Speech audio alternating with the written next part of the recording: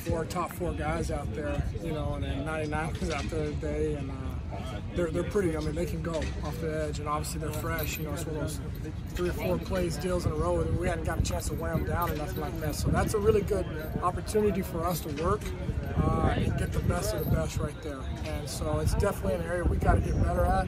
I thought we improved from day one to day two. I thought day one was pretty poor. Day two, I thought we improved, and we got to continue to get better go. I think it's a great period for us. So. Do you take anything away from the drill yesterday with the tackles and the safety blitzes? Uh, yeah, that was just a drill that uh, Coach Niver wanted to work. You know, they blitz so much in their scheme that um, they just wanted to get an opportunity for their guys to work against actual, you know, line blocking them out and stuff like that when somebody slides to them. But then for us, it's an opportunity to work against real speed. Um, we do got really, really fast guys off the edge. Uh, but to get a chance to go against a guy who can really run and burn an edge right there, it just it, it, really makes us forces us on our initial sets and everything to really be good, and our technique's got to be really, really sharp, or we won't be able to touch those guys off the edge. Did anyone stand out to you in the drill? Uh, you know, just off the top of my head, I'd say Courtland Ford did a good job yesterday in that drill. Cortland was going at left tackle for a long time and flipped over. How have they sort of mentally handled the, the young guys? Good. um, I mean, I tell you what, we got something with those young guys. I mean, just for, for where they're at at the point they are in their career, I mean, the sky's the limit for those two kids. Um, but to be able to handle that is is pretty pretty good. I mean, like I said, it's it's not easy to do. Uh, I think Jonah's probably been able to handle a little bit better than Courtland. Courtland's definitely more uh, more comfortable on the, on the left side. He is right.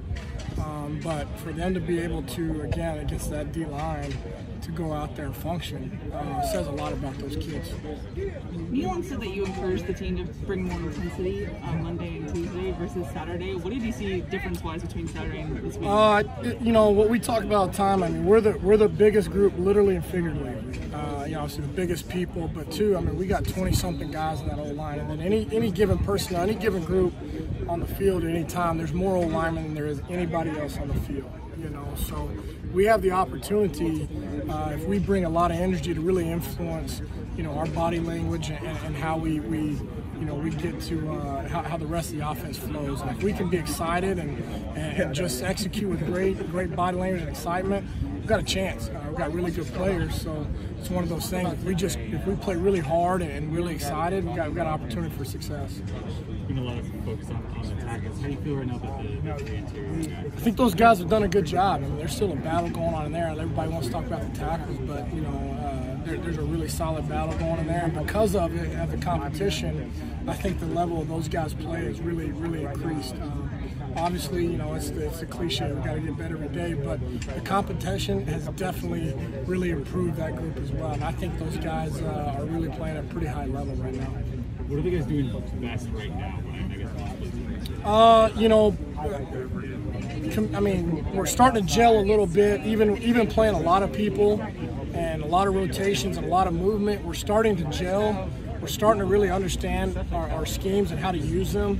Uh, and, and, you know, we got really smart kids. So uh, guys like, you know, when D's at center or Brett's at center and, and even Millick now as a young kid picking it up, you know, we see a defensive front. We're able to really get us in the right blocking uh, scheme, you know, we kind of read. It's, it's really hard for our guys, you know, I mean, our guys do a great job of disguising things, and which is good work for us. We've got to see just about everything you're going to see.